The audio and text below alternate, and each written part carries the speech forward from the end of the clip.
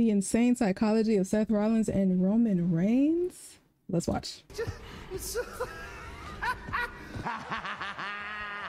Roman Reigns and Seth Rollins. They've been compared to Rollins does look good in purple. Joker. But in the reality of That's a WWE, nice it's look. a little more complicated than just that. Okay. One thing we can say for sure is without each other, would they have the same superstar blockbuster careers that they have had? Their incredible broken brotherhood and backstabbing betrayals that have defined them since they were in a faction together that was also definitive in the Shield. Since then, it has been maybe some of the most interesting stuff to follow long term in WWE or pro wrestling overall. Think of all the biggest WWE moments of the 2010s. How many do you think you can name that have a long term effect the way that Seth Rollins' chair shot to the back of Roman Reigns had? Yeah, breaking up the Shield broke them out as individual superstars. Have you ever noticed the demeanor of the ever confident tribal chief, Roman Reigns? We all have to acknowledge him. He's so confident. But once Seth Rollins is around, that tone sort of changes. Why exactly is that? Let's take a very deep dive into the insane He couldn't even he couldn't even help himself at Mania. Like he literally he sold. He sold because he wanted to take that opportunity and make it about Rollins and hit him with the chair. So damn, that's crazy when you think about it. between Roman Reigns and Seth Rollins. This is Sportskeeda Wrestling. Let us know what you think in the comments below. Come on! You got an opinion? Let's hear it. We must go back to where it all began. He The took his eye off the hounds prize. of mercenary justice, a young trio who are ready to flip every table in front of them or maybe put someone through every table in front of them in WWE. They truly changed the landscape in the decade to come when they broke out big, premiering at Survivor Series 2012. And the change of the landscape they did had far more than a lasting impact than you may think, until it was decided by the company that the three main event superstars had to go their own ways. An unpopular decision at the time in splitting up the Shield, it's easy to look back and see that WWE was right in a long term way of making Roman Reigns, Seth Rollins, and Dean Ambrose into solo superstars. Considering how the three men have become the gold standard of main event pro wrestling in the past 10 years, the decision has proved to be fruitful, even for companies outside of WWE. But in the story that we're going to focus on, it's that chair shot to the back. It all goes back to the trauma caused by Roman Reigns in a way that still plays into his character today. June 16th, 2014, the chair shot heard round the world when Seth Rollins turned his back on Reigns and Ambrose, ending the Shield right after they defeated Evolution in a pay per view main event. Seth Rollins was being fast tracked into the main event by the Authority Group, led by an evil corporate Triple H, while Roman Reigns and Dean Ambrose were building their way up as single stars on a much harder path to get there. Roman Reigns was finding much more success in that department, being the hated good guy. It was all coming to a head at WrestleMania 31 when Roman faced Brock Lesnar in the first WrestleMania main event of his career. And as you probably know, it was hijacked by Seth Rollins and a Money in the Bank cash in. One that we are not forgetting either. In an epic moment, he would end up stealing the World Heavyweight Championship instead, cashing it in at WrestleMania for the first time in its history, and costing Roman his big moment pinning him, not Lesnar. The second time, Rollins had one upped Roman Reigns and did it in the biggest way possible. While Seth Rollins went on to carry the WWE on his shoulders for six months as WWE World Champion, Reigns was being built back up so that fans would be more receptive to him. When it came time for their paths to cross once more, Roman emerged as the clear number one contender. Was getting cheered against Rollins as well. But then the weight of carrying WWE on his shoulders proved too much for Rollins and his legs, and they buckled, trying to lift Kane and tearing his ACL and MCL during a live event overseas. The number one man in the company found himself sitting on the sidelines while Roman Reigns went on to pursue the WWE World Heavyweight title. He won it, and only to lose it to Sheamus in minutes and then won it back in a feud involving Mr. McMahon. Roman Reigns would lose the title again Ew. and win it back at WrestleMania 32, with Rollins returning over a month later to reclaim the title he never lost. At Money in the Bank 2016, the stage was set for the main event clash. In an epic match, Seth Rollins shocked the world and ended Roman Reigns' world title run in just two months. Not only did he beat Reigns, but he did it clean. Something that just didn't happen to the big dog era of WWE.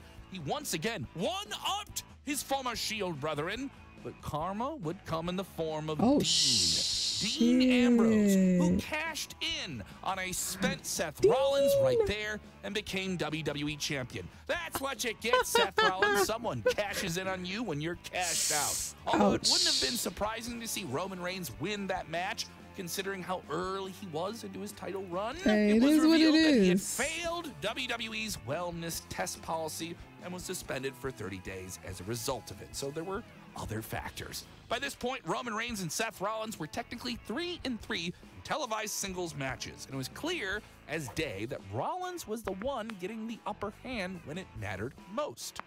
Once the summer of 2016 began, WWE finally took the right decision and capitalized on Seth Rollins' popularity, leading to him becoming a good guy hero for the first time in more than two years. While he crossed paths with Roman Reigns, things would eventually culminate in a somewhat less than positive Shield reunion in 2017. The Shield was supposed to reunite and main event TLC 2017 in a 3 on 5 handicap match, only for Reigns to fall ill and Kurt Angle to replace him in the unforgettable tactical vest moment. Talk about iconic. It was fun for Kurt Angle. The Shield did get their reunion when they defeated The New Day at Survivor Series 2017, but the big comeback came to an abrupt halt when Dean Ambrose suffered an injury, which would keep him out of action for most of 2018. While Seth Rollins went on to pursue the Intercontinental Championship, Roman Reigns continued his ascent to the top with a fourth consecutive WrestleMania main event, winning the Universal Championship. Once Dean Ambrose returned, there was a small two month window there where the Shield had an on and off reunion before Roman hmm. Reigns would unfortunately have to bow out in a battle with leukemia. Yeah. At that moment, the three brothers looked more united than they had ever had. As you know, that truly wasn't the case because that same night that unfortunate announcement was shared with the world, Dean Ambrose went on to betray Seth Rollins the same night. Yes, the exact same night. What followed was an unfortunately forgettable rivalry with Rollins and Ambrose, and after Reigns returned quicker than expected, they had one final reunion with The Shield before Ambrose parted ways with WWE and went on to All Elite Wrestling.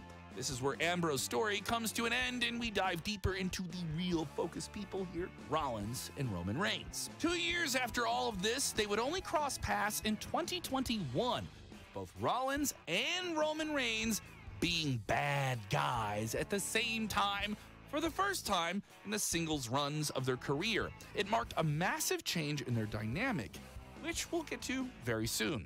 Rollins would actually indirectly help Roman against Edge, but it wasn't just because he wanted to help the tribal chief.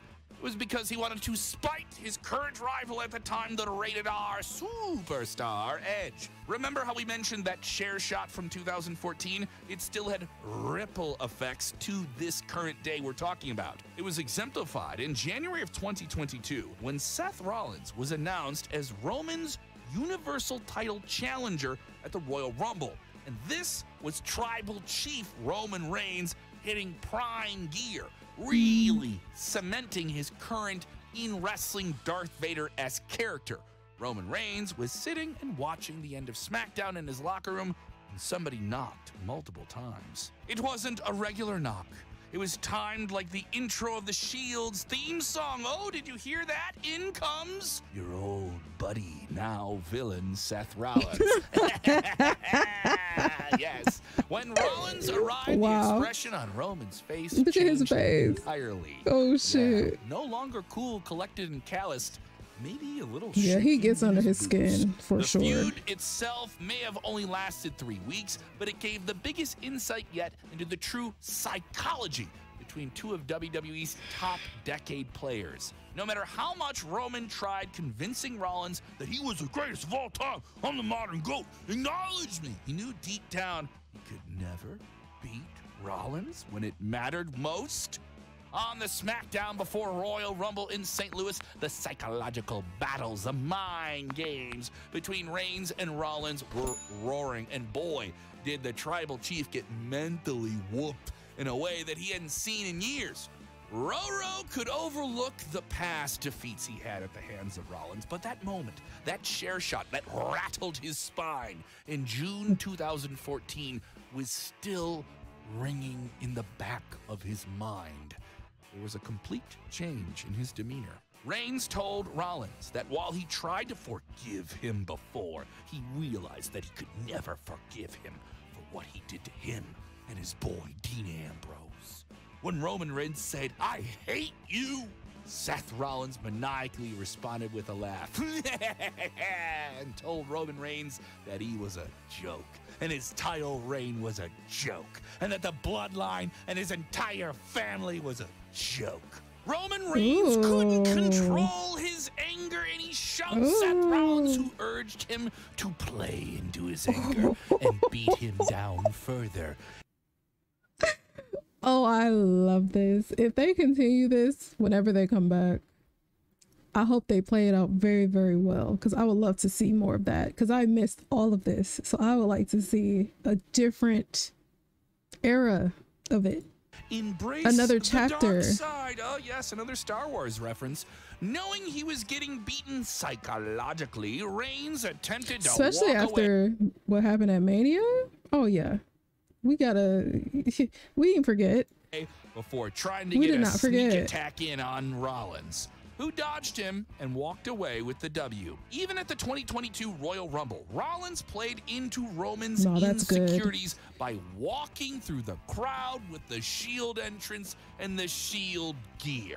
That moment, that intro, the song hitting everything, Roman Reigns' face went It played so into the match perfectly done this more than once. desperate Reigns once again found that he wasn't able to win the mind games when they matter against Reigns. So what did he do?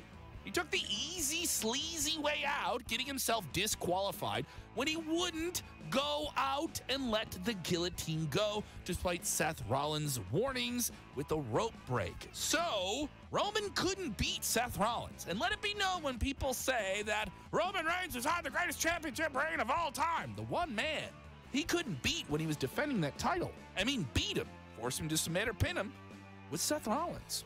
Once the bell rang, the signal of the finish, Roman took a chair and made sure to repeatedly smack Rollins on the back in an act of sheer hatred and frustration that had eight years of emotional buildup. WWE was able to get out of that Royal Rumble with Roman Reigns as the champion and Wait, so you had your opportunity. You you you already smacked him with a chair before. So why did he let his anger take over at Mania and throw like that?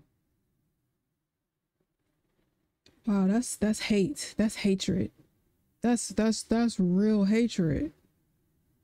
Seth Rollins came out of that match with a whole lot more credibility. They would not cross You would think he would be satisfied, right? When both men were holding world championships in WWE. Seth Rollins, the World Heavyweight Championship, which was made since no one could get a title off of Roman, and Roman now the undisputed WWE Universal Champion who had united two world titles at a previous WrestleMania. This time, it was Rollins finding himself aligning with a former odd fellow opponent of his own, Cody Rhodes, against The Rock and Roman Reigns of the Bloodline, leading to the biggest tag team match in wrestling history at WrestleMania 40. It was the first oh, ever shit. proper WrestleMania main event for Seth Rollins. Unfortunately, he suffered defeat.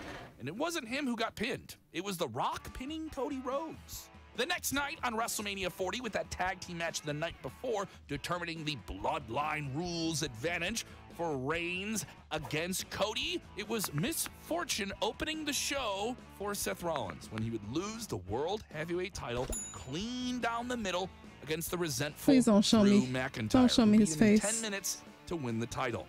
Him losing his world Okay. heavyweight title on night two of WrestleMania 40 seemed like an unfortunate, inevitable side effect due to his rivalry with the Bloodline, injuries. No, there's a really sad shot of wrestling Seth Rollins' so face when he on the lost. biggest wrestling weekend of the year. But it was the main event of WrestleMania 40 Night 2 where he had the biggest impact of all.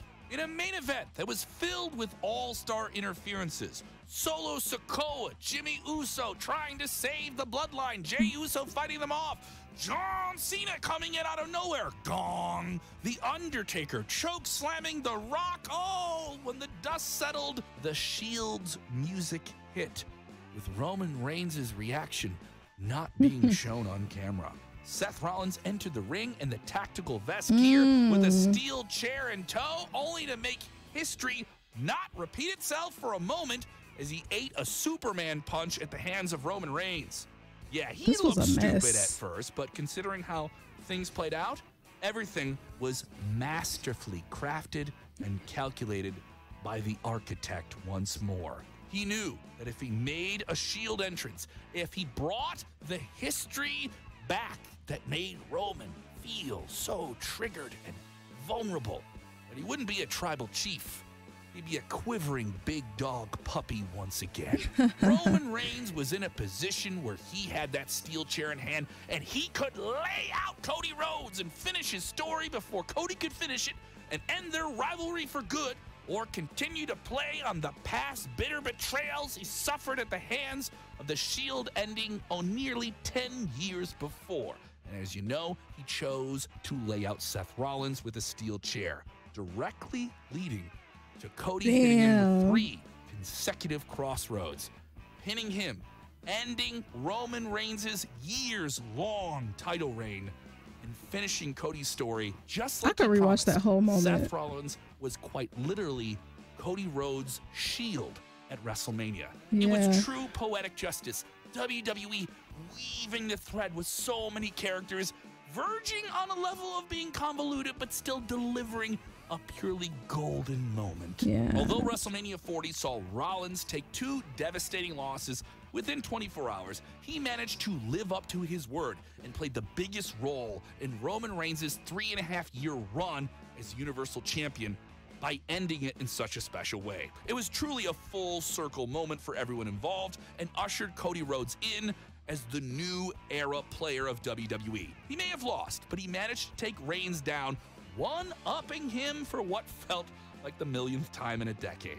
Considering how this all played out, it's obvious that there's still a big story to be told between Rollins and Roman Reigns, despite all that they've been through. It's unlikely that we're going to see them for a while, but at some point their paths may cross again. Perhaps one so. final chapter, one final I showdown. want more. If Cody Rhodes versus The Rock happens at WrestleMania 41, then who's to say night one can't be headlined by another emotional fight between Roman Reigns and Seth Rollins? But given how different their characters are going to be when they meet, who's to tell what will happen? Maybe their roles will flip. But if they are to meet one final time, who do you think should get the last laugh? Roman Reigns? Or will Seth Rollins eternally be the man who has the tribal chief That's a tough one. palm of his hand when it matters most? That's a tough Let us one. know in the comments below. Until next Usually I would have an opinion on that, but I can't even really say because I don't I don't know how I don't know how that could go. I don't know which way that could go between them two. Cause it is kind of like Joker and Batman. Like the Joker is always gonna be there to fuck with Bat to fuck with Batman. So it's like I don't know. Would y'all ever how soon would y'all want this to end? I don't want it to end as long as they play it out right and it doesn't get stale, I'm here for it. But like I said, 2024, I knew we were gonna eat as far as like the storylines. Like they're they've been doing so well. Mania was satisfying, and now we're in this new chapter with uh Solo wearing them goddamn gloves, thinking that he's Suge Knight. Like what the fuck? So I don't know. This is this is good. I'm entertained. Hopefully, whenever they come back, um, we'll kind of touch on that it doesn't have to be right away but hopefully at some point we kind of touch on that because i would like to see